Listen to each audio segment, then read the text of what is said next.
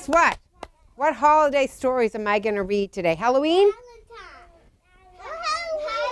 Halloween? Shall I read Halloween? No. What's the next holiday we're going to have? Valentine's Day. So, do you know what I have today? Stories about Valentine's and stories about love and candy and Valentine's, all the good things. Who loves candy? Me! I think for Valentine's Day, maybe you'll get some chocolate. All right. Well, look look at all the stories that I have today. And let me see. I think I'm going to start with this because it's one of my favorite, and it's called Worm Loves Worm. Worm loves worm. It is a funny name. Are you ready? You have it at home? Oh, that's good. It's a nice story. All right, ready? Listen now. Worm loves worm. Let's be married, worm to worm. Yes, answers worm. Let's be married. Think it's a good idea? I do. Wait, says Cricket. You'll need someone to marry you. That's how it's always been done. I'll marry you. Now, can we be married? asked Worm. Wait, says Beetle. You've got to have a best beetle. Naturally, that would be me. Now, can we be married? asked Worm. Are they all set, do you think? Wait, wait, wait, says the bees. You need bride's bees. You need bride's bees. Can we be the bride's bees? Please, please, please. Yes, says Worm. Now can we be married? Think they're ready? Uh-oh. You'll need to get rings to wear on your fingers, says Cricket. That's how it's always been done. Uh-oh, but we don't have any fingers. You see any fingers there? No, I see neck. We can wear them like belts, says Worm. Wonderful, says Worm. Now, now we can be married. Just make sure to have a band so we can dance, said Beetle. But we don't have any feet to dance, says Worm. We can just wiggle around, says Worm, like this. Can you do it? A worm dance? Fun, says Worm. Now we can be married. Think they're all set? But you still need a white dress, a tuxedo, a top hat, lots and lots of flowers, and a cake with frosting, says the bees. But we don't have heads for hats, says Worm. Or we don't have hands to hold flowers. And we only eat dirt. Wait, says Spider. I can attach the hat and flowers to you with my sticky web. How does that sound? Thank you, says Worm and Worm. But who's going to eat the cakes? asked the bees. I can eat the cake along with Cricket and Beetle, says Spider. What did you say? asked Cricket and Beetle. Nothing, says Spider with a smile.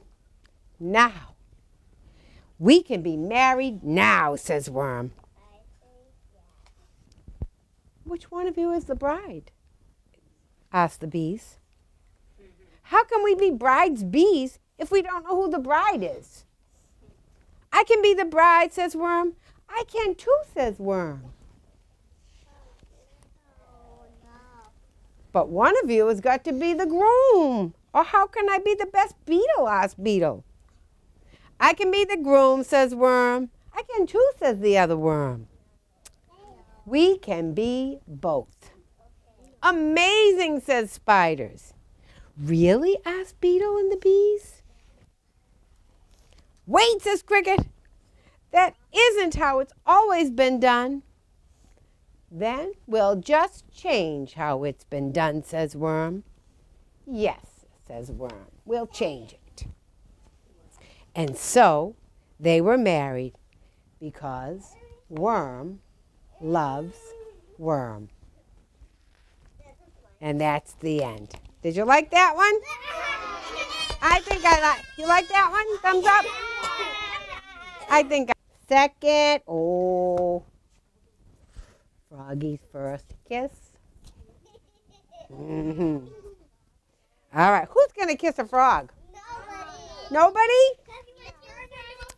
Someone's gonna kiss this frog, I think, because it's called Froggy's first kiss. So maybe he never had a kiss before this story. It was the week before Valenti- Valentine's Day. And for Froggy, Valentine's Day meant candy, but it also meant love. At school, Froggy's mind wandered. Froggy! Cried Miss, T- Miss Witherspoon, his teacher. What? Kindly pay attention, dear. And that's when he saw the prettiest girl frog in the whole world, the new girl in his class.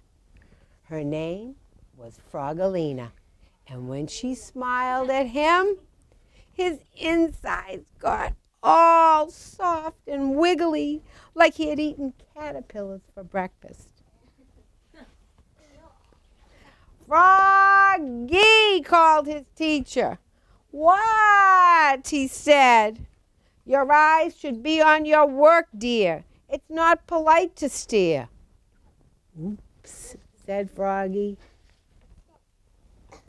At recess, Frogilina smiled at him through the monkey box. He was hanging upside down. And when he saw her, he felt smack on his head, bonk. At lunch, Frogilina sat beside him. She smiled at him and she opened her lunch box. I have a treat for you, Froggy. Close your eyes. And she gave him a big, juicy apple. You thought it was a kiss, huh? After lunch, Froggy and Frogilina played tetherball together. Frogilina wound up, socked the ball, and Froggy was so busy gazing into her eyes, the ball hit him on the head, bonk, and, and knocked him down.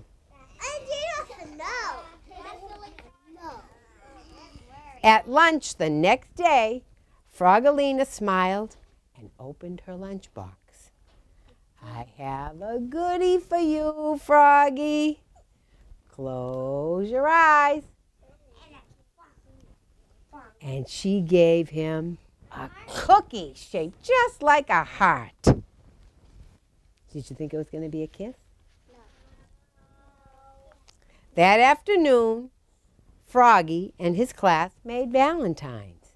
They cut hearts out of paper, some big, some little, some red, some pink, and on just one, Froggy wrote, I love you. He didn't want any of his classmates to see, especially Frogilina. So he worked under his desk. Froggy, called Mrs. Witherspoon.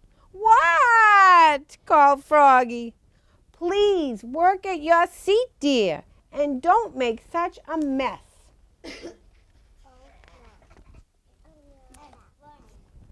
when Froggy stood up, he hit his head, bonk, on the desk, and everybody laughed, especially Frogilina. At lunch the next day, Frogilina sat beside him again. She smiled and opened her lunchbox. I have a surprise for you, Froggy. Close your eyes. And what do you think she gave him? Right. A big juicy kiss. Smack on his cheek. Blah! Spluttered Fro- Froggy, looking more red in the face than green.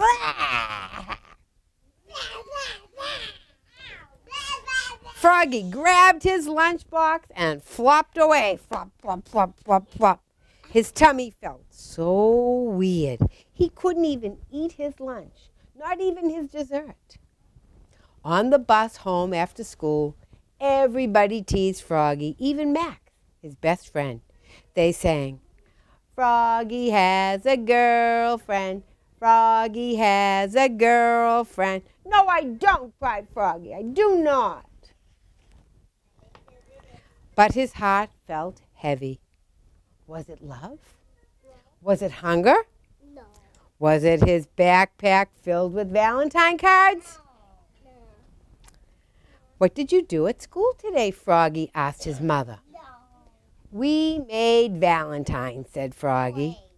Did you make one for someone very special? Froggy turned almost purple. He flopped into his room. Flop, flop, flop. But the next morning, on Valentine's Day, Froggy served his mother breakfast in bed and said, Mom, that someone special is you. And he gave his mother the big heart that said, What? I love you. And his mother gave Froggy a whole bunch of kisses, candy kisses. What'd you think? Thumbs up? What did Froggy do when, it, when he got the kiss? Did he like it though? I think he did. I think he pretty good. Yeah. All right. Okay, let's see what we're gonna do. Oh, this is a cute, silly one. How about a kiss like this? This is a quick one. It's all about kisses. A kiss like this.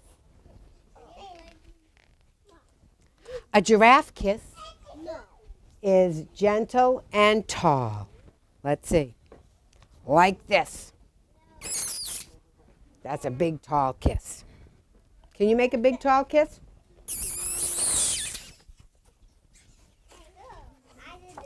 Okay, a mouse kiss is quick and small, like this. That's a mouse kiss. Oh, you kiss just like mouse, like a mouse. Oh, I hear lots of mice kisses. A fish kiss is fizzy and bubbly.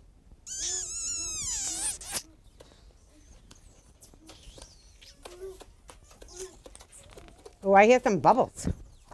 Bubbles Just like that. Let's hear a fish kiss again. All right, let's see if we can kiss like a bee kisses. Fuzzy and buzzy. Does it sound like a bee to you? How about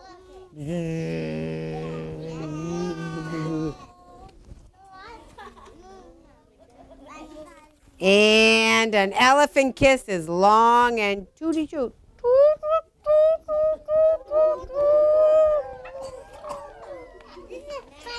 You guys kiss like elephants.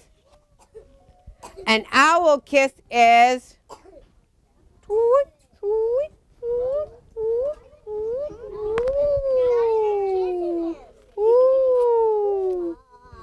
And there's the kiss. I think you guys kiss mostly like elephants. My, oh my, look, everybody's kissing. Now there's only one kiss missing. Your kiss, like this. All right, good kissing. But you know what? You still kiss like elephants. I don't know what story. I think we'll read I Love You the Purplest. The Purplest. Let, yep. Huh? Do you have this book at school? Huh? Does anybody know? It's a. All right. Let's see what I Love You the Purplest is. Early in the evening, the brothers and their mamma finished supper in the sturdy red cabin and set out to fish. The lake slowed its thrashing to a soft, even beat, and the mosquitoes dipped low in the water, and the water bugs skittered to the top. The moon glowed on one side of the lake, while the sun shimmered on the other. This was the time when fishing was best. Max exploded from the cabin, twirling the shovel in front of him. Mama came next, and then his brother Julian. Julian shut that cabin door tightly to keep it safe from bears. bears? Yep. Julian scooped the dirt to find the fattest worms. And Max jumped on the shovel and flung dirt in the air until a tangle of worms filled his can. Mama, who has the most worms? Yep. Him or him? Mama smiled. Max, your can is full of the liveliest worms. And Julian, your can has the juiciest worms. Max, Julian, and Mama stepped into the wooden boat, and Julian took one oar and Max took the other. Julian planted his blue boots wide and he took deep, even strokes. Max braced his red boots against the ribs of the boats and stroked quickly through the water. The brothers' faces were hot and they gulped at the air, and Julian gasped, Mama, who's the best rower? Mama's eyes grew soft. Why, Julian, you took the deepest strokes. And Max, your strokes were the fastest. The three fished until the stars sprinkled the sky and water turned dark as night. And in the end, Mama caught one fish, Julia caught one, and Max caught three. I'm the best fisherman, called Max hoisting his fish right in the air. And Julian pushed his hat brim low on his face. Three fish! What a bountiful fisherman you are, said Mamma. And Julian, you're the cleverest fisherman. Your fish hid in the weeds, but you waited. When your bobber jerked in the water, you kept your pole high and you reeled in a fine, fat fish. When the fishing and the baths and the stories were done, Mama tucked the brothers into bed. Julian slept on the top bunk, and she reached up to kiss him good night. Mama, whispered Julian, his hands forming a tunnel around her ear. Who do you love the best? Mama thought for a moment, and then she whispered, Why, Julian, I love you the bluest. I love you the color of a dragonfly at the tip of its wing. I love you the color of a cave in its deepest hidden part where grizzly bears and bats curl up until night. The midst of a mountain, the splash of a waterfall, the hush of a whisper. The breath in Julian's chest grew and grew and grew until he couldn't hold it in any longer. Then it came out in a long, velvety sigh. Mama crouched low to the bunk where Max slept. Mama wiggled his finger for Mama to come close, and he whispered, Mama, who do you love the best? Why, Max, I love you the reddest. I love you the color of the sky before it blazes into night. I love you, the color of a leopard's eyes when it prowls through the jungle, and the color of a campfire fire at the edge of the flame. A wide open hug, the swirl of a magic cape, the thunder of a shout. The smile on Mac's face grew and grew until his cheeks couldn't hold it any longer. Then it came out in a big, thundery laugh. Later in the evening, the brothers and their mamma slept, one in the top bunk, glowing in the evening moon, one in the bottom bunk, shimmering like the evening sun, and mamma in the big bed, dreaming of the boy. Eh, I know, everybody does, right? And daddies. And all our family, right? We love our families.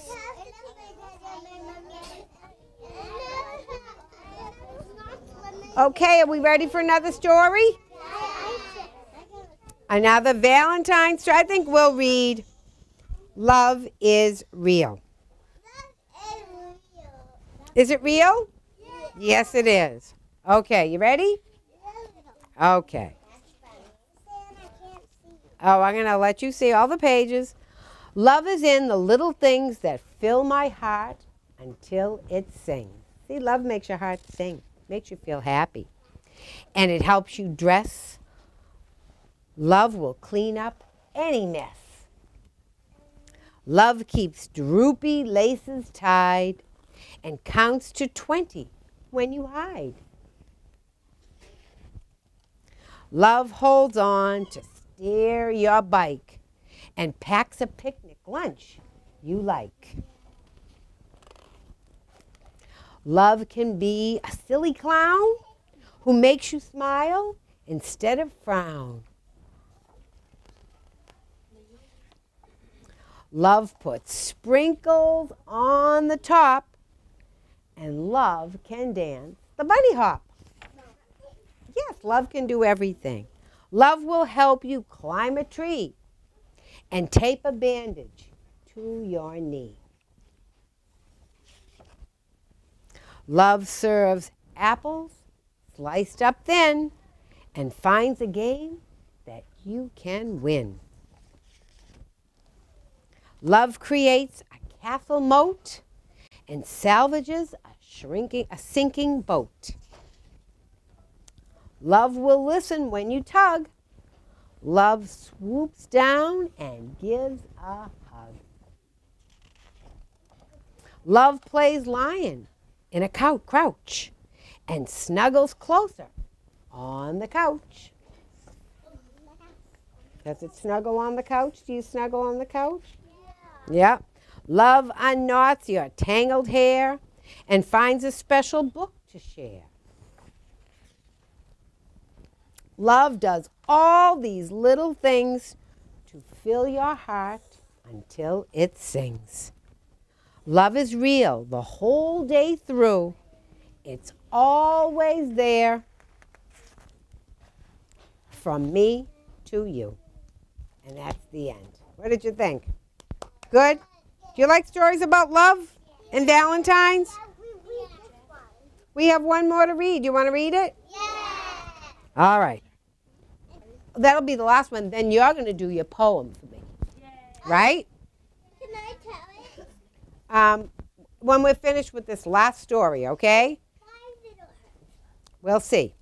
A giant crush. Look how hard he's working on their Valentine. Are you guys going to do Valentine's? Yeah. Okay. A giant crush. My best friend Jackson has been making Valentines all day long. Who's the special Valentine for, Jackson? I asked. It's not special, Cooper, Jackson says. Really? I say. How come it's so full of chocolate kisses you can barely close it? Jackson doesn't answer me. You think it's special? I do. On Monday, Jackson comes to school with a giant yellow flower. By show and tell, the flower is gone. At recess, Carter Corey steals the ball from Jackson and dribbles it down to Cammy. He swipes Cammy's scarf and stuffs it in his pocket. Jackson gets the ball back, but all the girls are chasing Carter Corey. No one is playing soccer anymore. Carter and Cammy sitting in a tree. K I S S I N G. All the girls are singing that. The next day, Jackson has chocolate hearts in his lunch. I'm hoping he'll give me some. But when we get to the cafeteria, they're gone. All gone. What happened to the candy, Jackson? Jackson's cheeks flushed red, as red as a wrong answer pencil. After school, Jackson watches the girls play soccer. Carter Corey comes over. He climbs the fence and shouts, Look at me! I'm even bigger than Jackson. I'm a giant. Fee, fi, fo, fum. All the girls laugh, and Jackson turns red again. On the way home, Jackson drags his backpack bumpity bump along the pavement. What's the matter, Jackson? Carter Corey loves Cammy, Jackson whispers. Does she know who the flower's from? Jackson shakes his head. Does she know who the candy's from? Jackson puckers his lip out. How's she supposed to know you like her? Jackson's face crumbles up. I would know if she liked me, he whispers. If you're going to like a girl, Jackson, you have to at least tell her. Jackson kicks a can bangity bang down the sidewalk. What if she doesn't like me? Why wouldn't she like you? Jackson's eyes are fixed on the ground. Because I'm a giant, Cooper. Yeah. So, is she too tiny for you? Of course not. She's perfect. She's perfect in every way. Finally, Valentine's Day is here. And right before recess, Miss Mosscrop delivers the Valentines. She puts Jackson's Valentine on Cammy's desk. Cammy has a boyfriend. Cammy has a boyfriend. All the girls cry. And Jackson's head sinks low. He's getting sad. Just then the bell rings. Cammy shoves back her chair. It clatters to the ground. And she says, Does anybody want to play soccer? She asks, as her face as pink as a Valentine heart. I give Jackson a shove. He takes a wobbly step forward and knocks his chair over too. All the girls giggle. Jackson and Cammy play two-person soccer all recess long. I think they're having fun. At the end of the day, we race to the cubbies. When Cammy grabs her book, it falls open, and pressed between the pages is a big yellow flower. Who gave you that? Carter Corey wants to know. And Cammy's face turns pink all over again. Carter looks from Cammy to Jackson and back again. It was Jackson. A giant is your boyfriend? I do not have a boyfriend, Carter Corey, Cammy tells him. But if I did have a boyfriend, he would be totally a giant.